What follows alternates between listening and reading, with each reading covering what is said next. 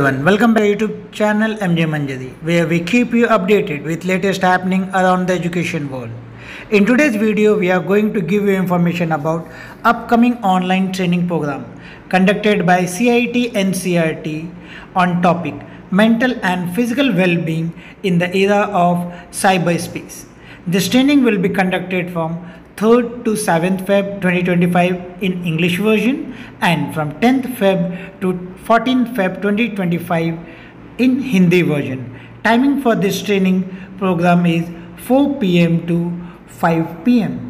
The major aim of this training is to provide a practical strategy for managing screen time, overcoming technology addiction, exploring digital well-being tool and understanding the personal institutional responsibility in maintaining mental and physical health led by expert in field and session will focus on evidence based approach to promote mental resilience fostering self regulation and ensuring responsible.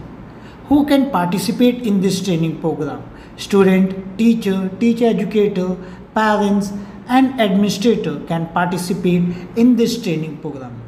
The major objective of this training is to understand policy framework on mental and physical well-being in cyberspace, evaluate screen timing effect on cognitive function, stress level and physical health, adopt digital detox practice to reduce dependency and enhance mindfulness, utilize well-being tool for stress management focus and emotional resilience. Now let us see the program schedule. It's five day program. Day one topic is mental well-being, policy perspective and need of scope. Day two, screen time impact and management.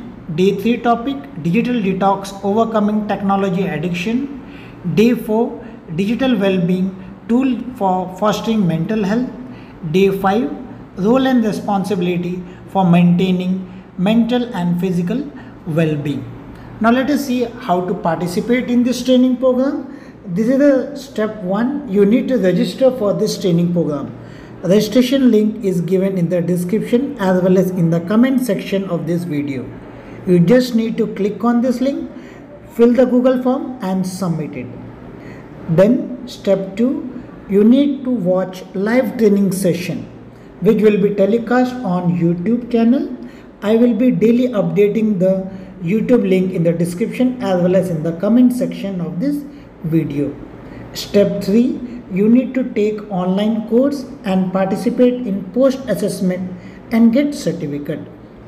Link to join course on Diksha portal I will update on the comment as well as in the description of this video on 15th March and then you need to watch all the five videos as well as the PDF. Then you need to take the final assessment.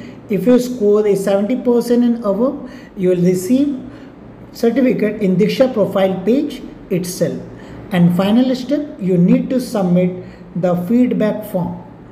Link will be updated in the description as well as in the comment section of this video. That's all for today's video. If this video is helpful for you, don't forget to like and subscribe the channel and share it with your friends. We'll meet in another video with some more interesting information for you. Till then, goodbye. Keep learning.